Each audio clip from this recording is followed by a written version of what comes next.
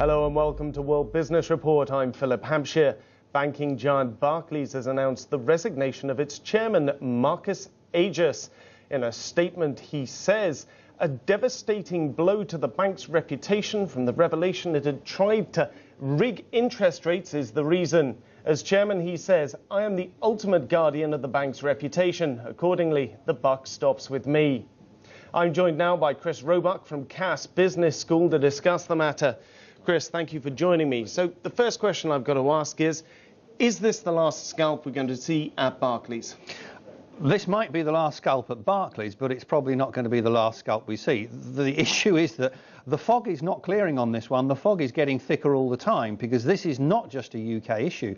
We now have, we know that Citibank is being investigated, UBS is being investigated, Deutsche Bank is being investigated, JP Morgan's being investigated. So this is spreading throughout the world. So it's not just a British problem, and I think it will take a number of weeks, if not months, for all the uh, unfortunate detail to come to the surface. Well, that's exactly it. Uh, the regulators have said they're looking at as many as 20 yep. different institutions. Yep. So is this a systemic problem? What does this mean for banks overall?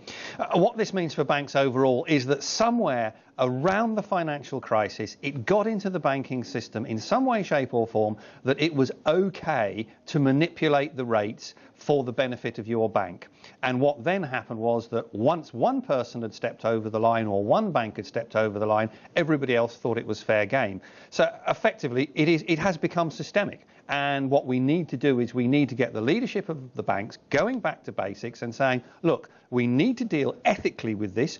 Everybody in this bank needs to understand what is right and what is wrong. And doing this sort of stuff is wrong. And if you do it, minimum, you'll be sacked in the current situation, the man in the street might mm be mm-hmm. looking at uh, at this story and saying, "Well, LIBOR, that's not an interest rate I'm familiar with. I'm familiar with my mortgage. I'm yep. familiar with what I get in my bank account."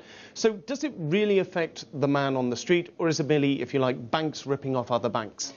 to some degree, if we look at the, the technicalities of it and the fact that it was 14 banks putting all their figures together and then there being an average and all the rest of it, the impact of the, on the man in the street was almost negligible. To some degree, it's the classic case of bankers ripping off other bankers, or as we've seen from some of the other scandals, bankers saying, look, if I'm dealing with bankers, they're fair game, but I'll be nice to the public.